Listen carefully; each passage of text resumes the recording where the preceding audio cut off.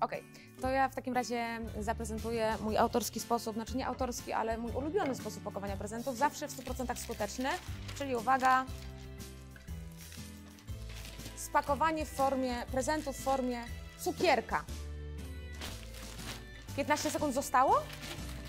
Minęło, dobra. Uwaga, odcinamy brzeżek.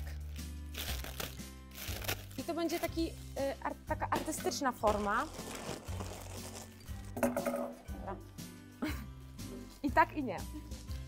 Hop. Proszę.